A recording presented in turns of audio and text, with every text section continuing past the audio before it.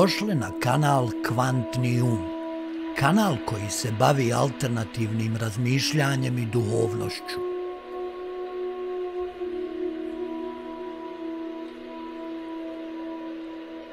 Kojih je pet koša? Koji su slojevi našega bića? Kakav značaj imaju za naše fizičko, mentalno i emocionalno zdravlje? Saznaćete u ovom videu i ako se već niste subscribe na ovaj kanal, vreme je da to sada uradite i tako podržite moj daljnji rad i ne zaboravite da uključite zvonce kako bi pravovremeno dobijale obavještenja o novim videima. Hvala puno.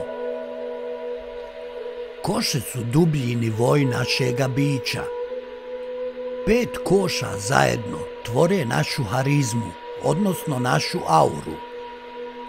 Ukratko, postoje tri tijela, takozvana šariras i pet koša koje su poznati i kao omotači, slojevi ili školjke.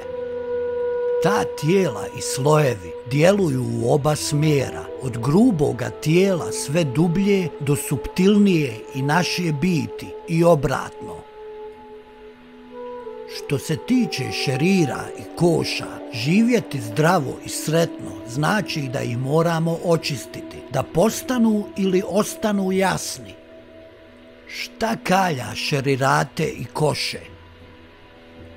Kaže se da nas ne čine vanjski uticaj i stvari sretni, već odsustvo misli i želja, briga i patnje ali spolja nas također zadivljuje, utišava ili budi, posebno kada se dogodi nešto lijepo.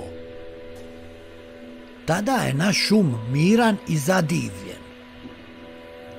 Tada smo u čistoj percepciji. Upravo u tim trenucima ove ljudske su jasne i prozirne. Tada onda Atman, naša duša zasija. Atman je naše jezgro, naša duša. To je besplatno, sretni smo i sijamo kroz sve omotače. Čisto svjesno postojanje čini nas sretnim. Zato je važno naučiti samo biti tamo, bez stalne želje za nečim, bilo iz prošlosti ili iz budućnosti. Ali ako smo zadovoljni i bez želja u sadašnjosti, zadovoljni s onim što nam život daje, tada se koše čiste i naše pravo ja sija.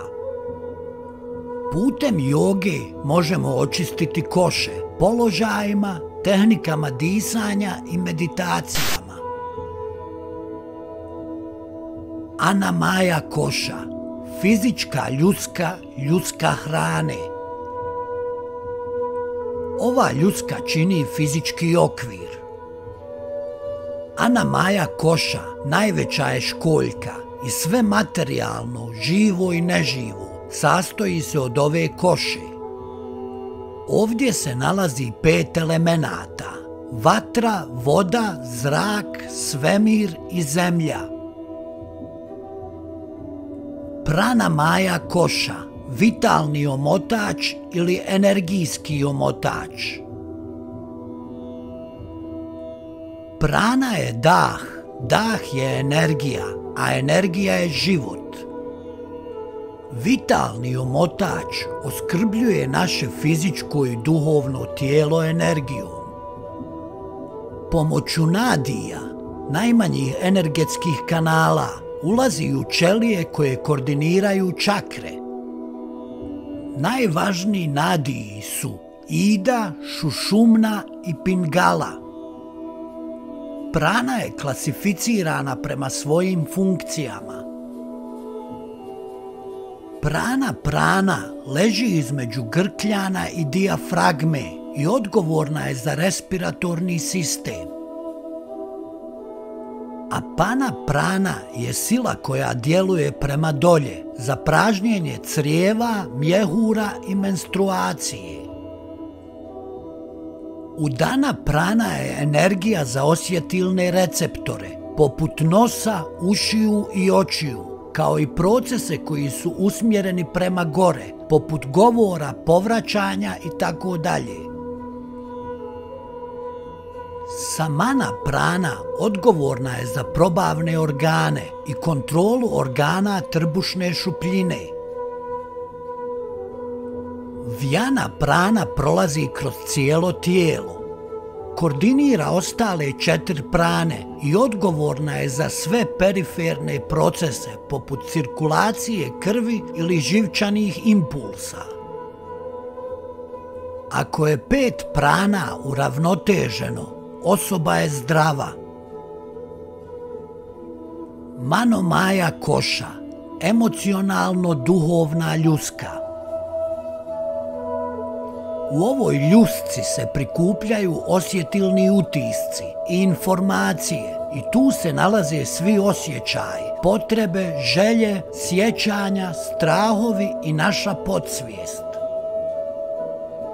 Nesvjesne poruke neprestano iskre naprijed i natrag između nivoa tijela Stoga je lako zamisliti da ova ljuska vrlo brzo reagira na vanjske uticaje, poput ukusne hrane, ljudi ili gužve u prometu.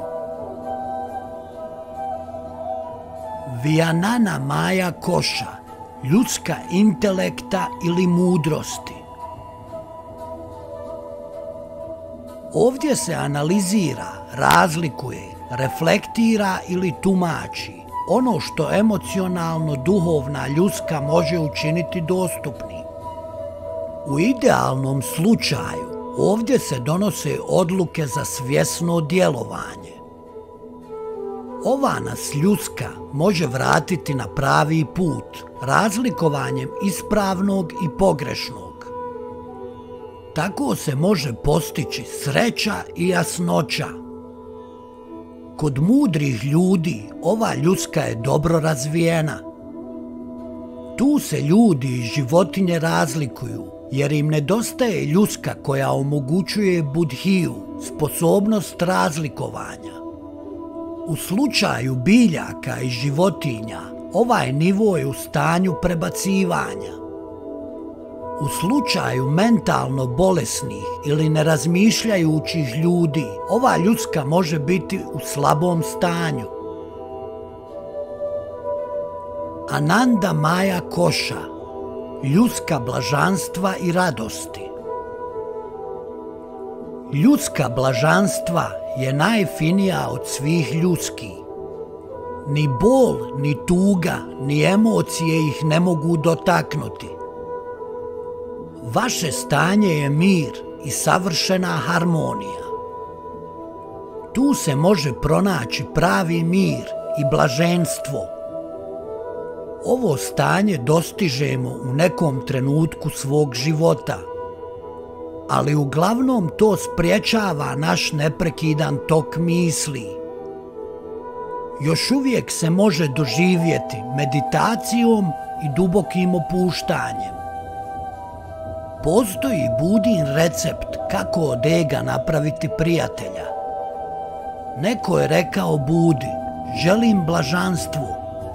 Buda je odgovorio, prije svega ukloni ja, to je ego. Zatim uklonite želim, to je želja.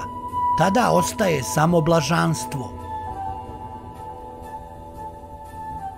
Hvala vam na gledanju i ako vam je se svidio ovaj video pritisnite like. Veliki pozdrav!